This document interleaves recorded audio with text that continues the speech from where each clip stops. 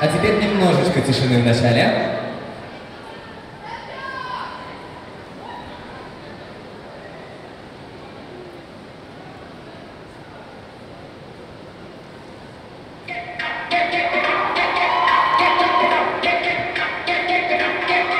I'm